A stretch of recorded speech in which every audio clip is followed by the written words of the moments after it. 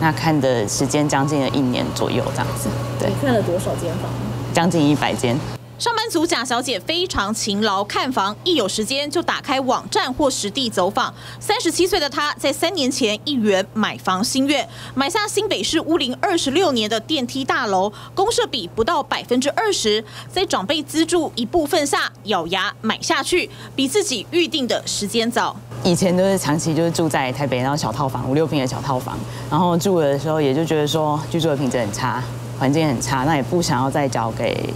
呃，房东了。那时候是想说，就是四十岁的时候存款，然后包含就是一些投资的部分的话，应该就是到了呃可以投期款，有存到投期款。跟我年龄比较相仿的朋友啊，或者说同事，大概大家都还是在存款啦，大家都还在筹备的阶段这样子。蒋小姐说，新城屋太高不可攀，也发现周围很多三十几岁的朋友都还没买房，因为对年轻人来说真的很不容易，首购族的年纪越来越大。我们今天这个屋龄是大概是十六年的房子，然后其实一进门之后会有一个很大很大的客厅，还蛮舒服。然后加上一进门了之后，我们回到家就可以看到窗外这一片的绿意。格局方正，三房两厅，总价三千多万，不少小家庭来看。二零二三年房市上半年受打房政策影响，交易量缩减。不过，房仲观察，民众的刚性自住需求仍然很高。现在的年轻人，尤其是一些首购族，他们其实都比较偏向两房。的那种小平数的格局来讲会比较多，所以一般来讲，像我们这种三房两厅的格局，都是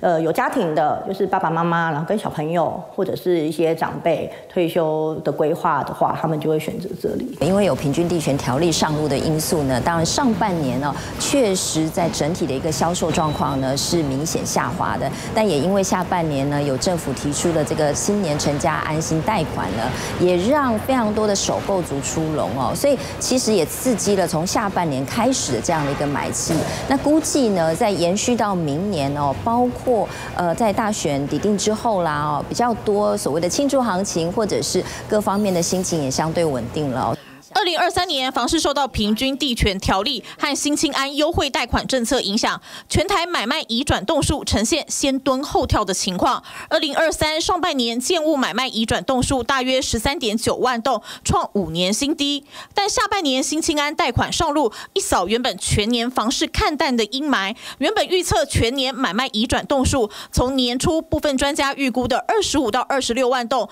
逐步上调到二十八点五万栋，甚至上看三。十万栋，根据六都最新公告，十一月移转栋数是二点三四万栋，年增百分之二十六。而包括像是国泰、华固、长虹、润泰新、远雄等五大上市指标建商，二零二四年推案有机会冲出超过一千七百亿元大量，建商推案蓄势待发。五大建商明年推案量爆量，第一个主要的原因是因为原本建商在二零二二年的时候是一片看外二零二三年的市场，所以呢，大家推案量都大幅度的减缓。原本一年可能要推四五个案子，结果到了二零二三年，大部分大大家都减量经营，只推一两个案子。那第二个部分是，呃。大家也预期总统大选之后，这个选举的干扰因素就排除掉了。一般来讲，总总统大选之后，房市会回归基本面。建商看好二零二四年推案量可能会爆量，但现在建商手上的余屋还是很多，为什么还要继续推案？因为现在的市场买气呈现一个 M 型化的悬殊发展，